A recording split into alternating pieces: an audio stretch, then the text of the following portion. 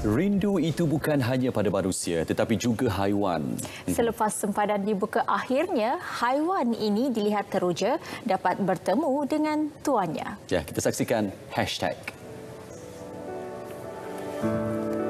Baik, sebuah video dikongsi Pandi Chelsea di TikTok menunjukkan kepulangannya dari Singapura bukan hanya dinanti keluarga, malah haiwan peliharaan miliknya. Perjauhan lebih 400 hari, nampaknya haiwan terbabit teruja selepas melihat kepulangan tuannya.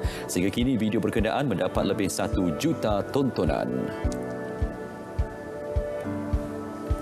Ratusan Muslim Amerika Syarikat melakar sejarah apabila laungan takbir dan solat terawih berjemaah diadakan di perkarangan Times Square, New York ketika malam Ramadan pertama baru-baru ini. Kata penganjurnya, aktiviti dibuat di tengah-tengah jalan bandaraya yang bermotifkan dakwah. Difahamkan kira-kira lebih 100 hidangan berbuka puasa turut diedarkan pada hari yang sama. Baik, zarah debu bulan yang dikumpul oleh Neil Armstrong sepanjang misi Apollo 11 tahun 1969 akan dilelong pada pertengahan April ini.